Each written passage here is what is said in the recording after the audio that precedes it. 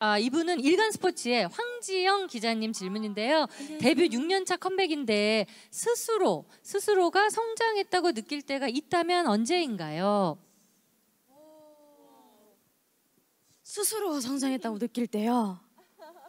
아, 무대에서 더 이상 떨지 않을 때. 음. 네. 떨림이 떨림이 설렘이 네. 될 때. 설렘이 될 때. 아, 좋다 좋다. 네. 예. 그렇게 제가 즐길 수 있게 되었을 때가 네.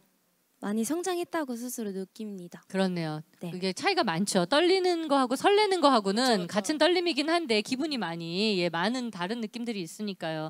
헤럴드 경제 고승희 기자님의 질문을 이어가겠습니다. 6년 차를 맞은 현재 이전과 가장 달라진 점이 있다면 무엇일까요? 자, 6년 차 이전과 가장 많이 달라진 점 이번에 유아 씨 네. 한번 얘기해 주세요.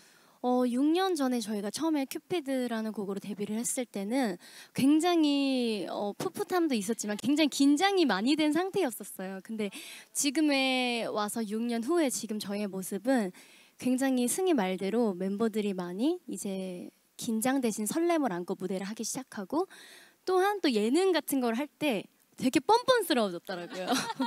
그런 모습을 보면서 어, 또한 애들이 이제 재미있게 또 무대도 즐기고 예능도 즐기고 할 수 있는구나라는 걸 느끼면서 되게 자랑스러웠고 저 또한 아직 좀 많이 부족한 것 같은데 멤버들을 따라서 좀 좋은 모습 보여드려야 드려야겠다고 생각을 했던 것 같습니다. 네, 앞으로 음악 무대 외에서 또 예능에서도 많은 활약을 부탁드려요. 계속해서